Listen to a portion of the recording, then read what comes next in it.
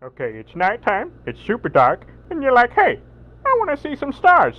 How are you going to see some stars with all these closed blinds in your in your room? Well, let's open the blinds and maybe we're going to see some stars out today.